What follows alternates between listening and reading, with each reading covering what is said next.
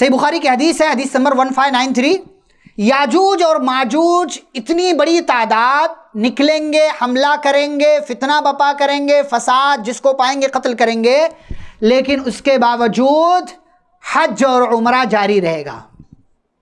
حج عمرہ جاری رہے گا۔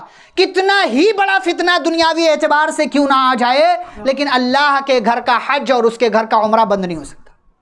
نہ دجال داخل ہو رہا ہے، فرشتے جو ہے وہ چاروں طرف سے گرے ہوئے۔ نہ وہ مکہ جا سکتا ہے، نہ مدینہ جا سکتا ہے۔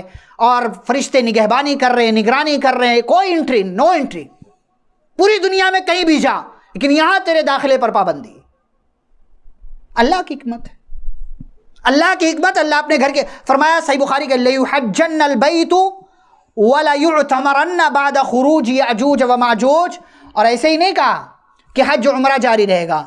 باقاعدہ تاکید کے لفظ کے ساتھ، البتہ یقیناً ضرور حج ہوتا رہے گا، عمرہ ہوتا رہے گا، یاجوج اور ماجوج کے نکلنے کے بعد بھی۔ نکلنے کے بعد بھی۔ تو وہاں کے لوگ کتنے برے کیوں نہ ہو جائیں؟